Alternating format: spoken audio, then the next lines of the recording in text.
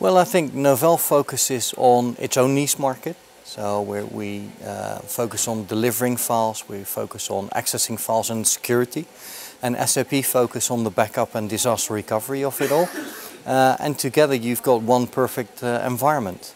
Uh, Novell for the files and SEP for the security of them. So I think um, the objective should be that we strengthen the relationship getting a just disaster recovery solution for all our major products, our flagship products.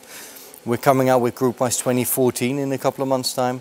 Filr 1.1 will be uh, around the corner this year as well.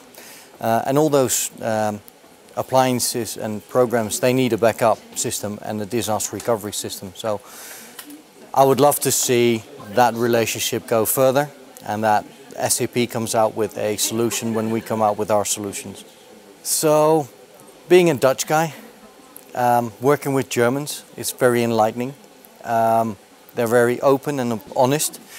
I've been working with SEP for a long time now and I've enjoyed our shows and it's always been fun and laughter, even between the Dutch and the Germans.